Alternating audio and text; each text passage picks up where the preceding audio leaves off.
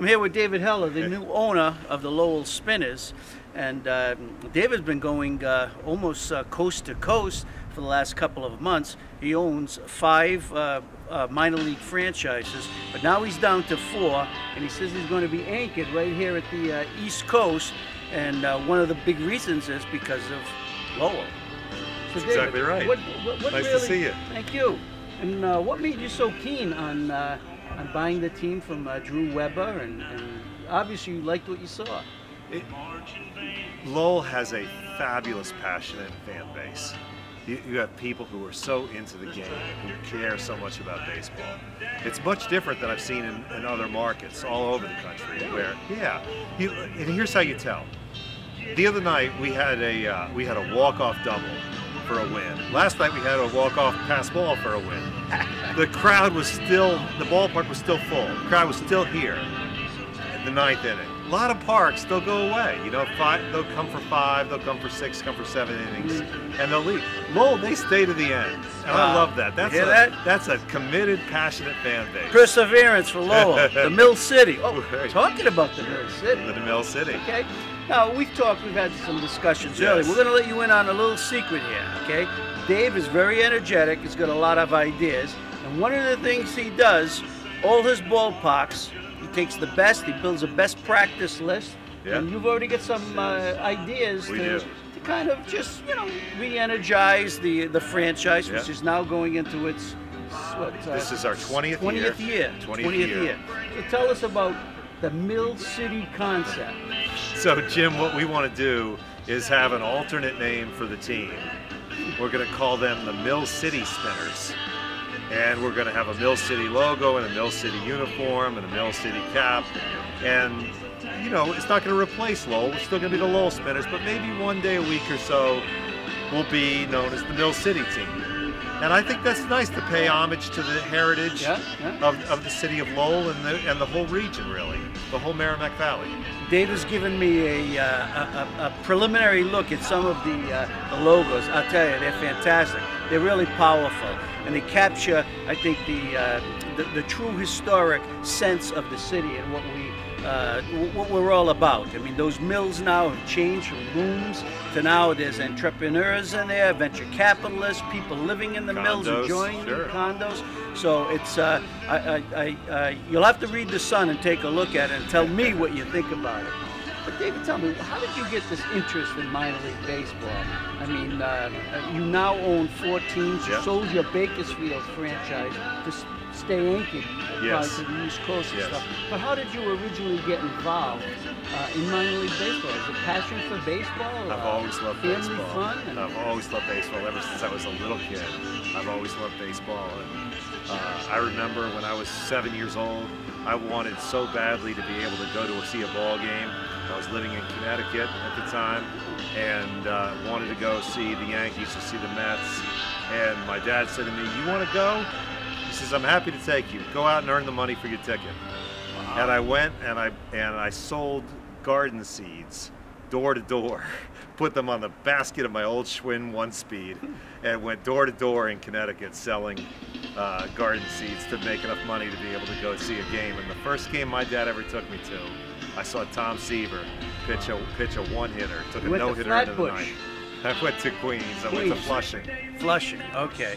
See Thompson, because he ended up with the Red Sox. He did, and the day he played, the first game he pitched for the Red Sox, I was, by that time, I was 24 years old, and I'm working in Washington, D.C., and I, I packed up my my old beat up Honda Accord and drove all the way from D.C. up to Boston to be here that night at Fenway when Seaver pitched. All right, now, so so you grew up a Yankees fan? No. Oh, no? Oh, no. Oh, okay. No. Okay. Stop Connecticut, that. Connecticut That's blasphemous. Uh, are you just saying that? That's blasphemous. Right, because uh, now no, you own a, uh, an affiliate of the Boston Red Sox. Yes. Okay? Yes. So uh, tell the truth. Have you always been a Red Sox fan? I'm, I can not say that I've always been a Red Sox okay. fan, uh, but I was never a Yankees fan. Oh.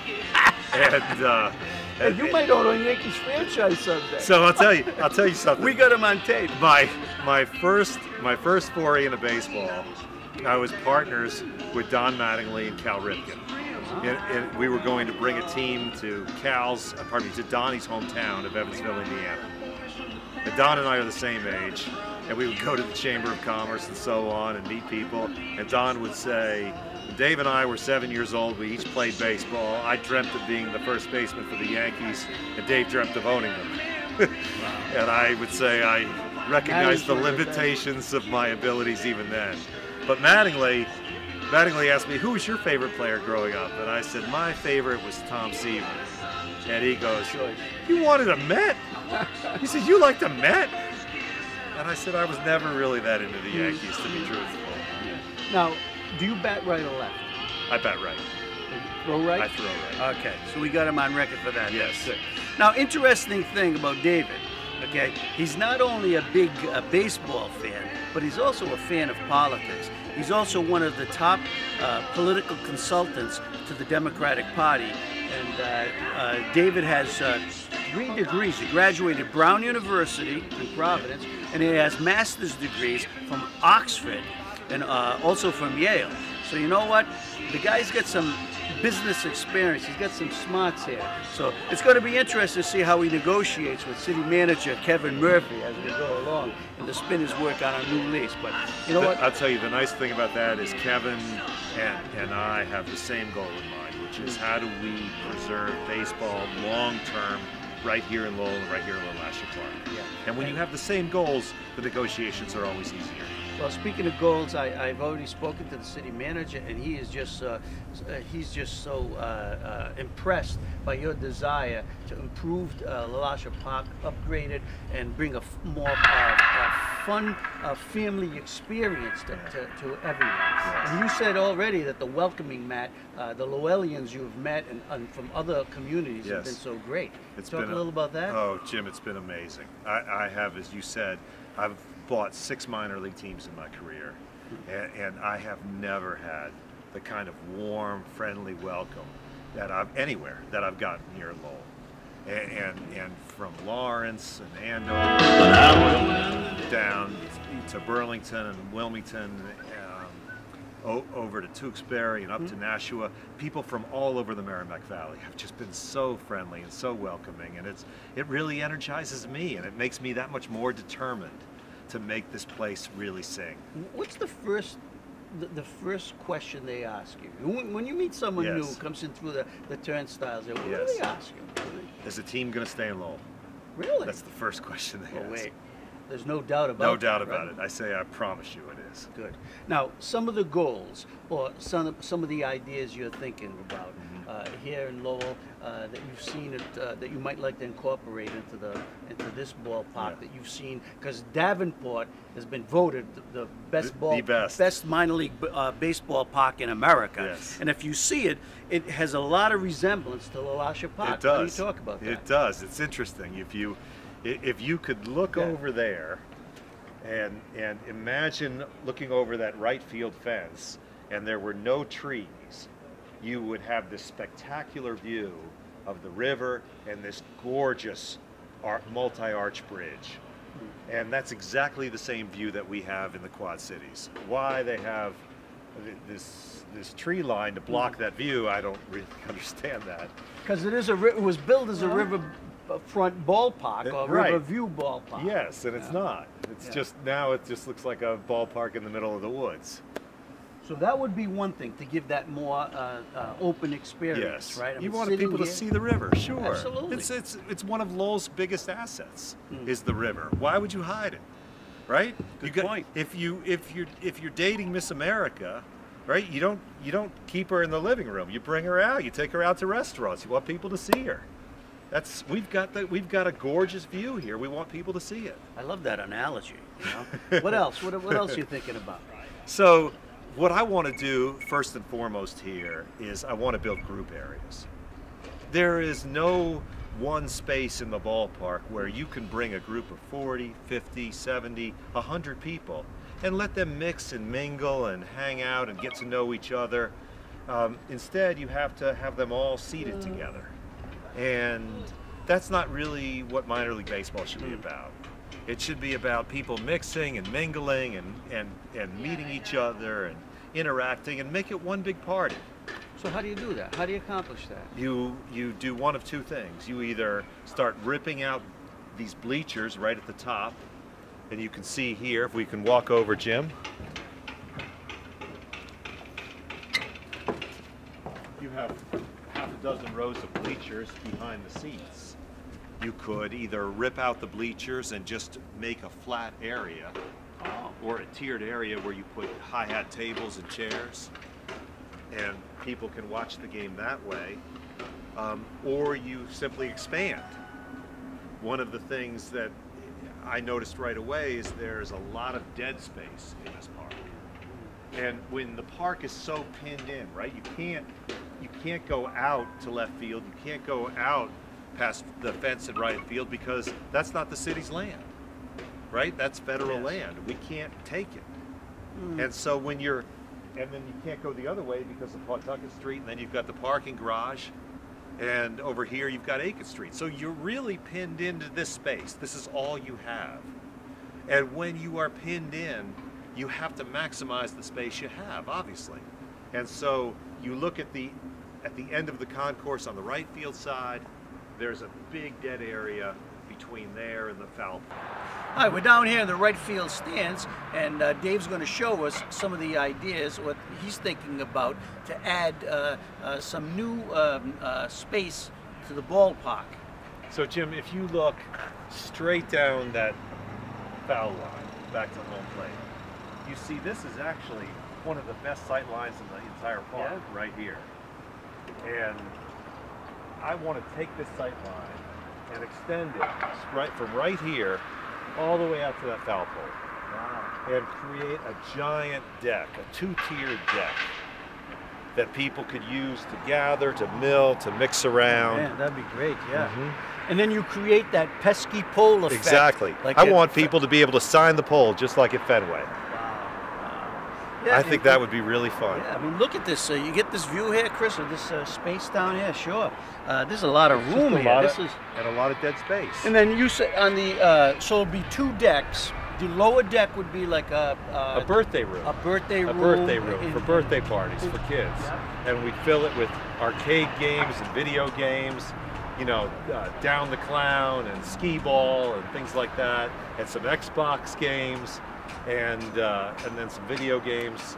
I think it would be really fun for kids. In the upper deck. And the upper deck would be an open area with high high top tables and chairs where uh, families and, and companies can go and have family reunions and company gatherings and just a big group space that this park desperately needs. Well, I think it makes a lot of sense. And now you've got a Ferris wheel in Yes. Davenport, Yes. right? Yes. Now, how did that come about? Is, is, is that uh, with uh, uh, with you work with the city to We do did. that? We partnered with the city on that. And we wanted something iconic that would attract people downtown. And the city bought into that vision and we teamed up together. I took out a million dollar loan and we uh, put in the Ferris wheel. Wow. And you know, there was there was some resentment, there was some opposition to it on city council. Um, but we got it done and we've proven all the naysayers wrong. We had last year 84,000 people ride that Ferris wheel in a town of 95,000. Wow. And this year, we are on pace to clear north of 90 on that Ferris wheel. That's amazing. Yeah. That's amazing. And, and I have seen kids, I have seen, I have seen people from two-month-old infants to 100-year-old men. Four generations of families ride that Ferris wheel together, and they all come off smiling. so when do we get one in Lowell? That'd be We're going to get something in Lowell. It's not going to be a Ferris wheel. You already brought in uh, one ride. we brought in ride. one small ride, yeah, Yeah, and there's more to come. Pirates of the Caribbean, a ship or something yes, like that. Yeah, the swinging pirate ship. So he's already started. I Yes. mean, we're, we're already moving here in Lowell, and it's going to uh, it's going to just keep changing uh, as um, as uh, David gets more and more involved in this ballpark and this community. Um, and uh, we hope that you come out to the ball game and take advantage of this. And when you're in Lowell, now you've been Yes. you've been cycling through Yes, you get the other. that's so right. usually uh, Every two weeks. Every two weeks, he stands out in front. Yes. Right. You greet fans. I do. You should come in, say hello uh, to the uh, to the to David Hell and also his family, his wife June, uh, son Dylan who's eight, and Yeah, uh, Cade. Who's five, and uh, introduce yourself. So, and you can find Cade usually working the dunk tank. Cade loves to sit up there in the dunk tank and taunt little boys and girls. He he sits up there, this little five-year-old sits up in the dunk tank and yells, "Missed, missed! You never been kissed!" and, and the boys get really mad and they start throwing more balls at him. They want to sink that little kid into the into the into the drink, and it's fun. It's really a lot. Unbelievable. Well, David, I want to thank you very much for being such a gracious host and giving us this tour. And I hope this is the start of a great relationship with the city of Lowell.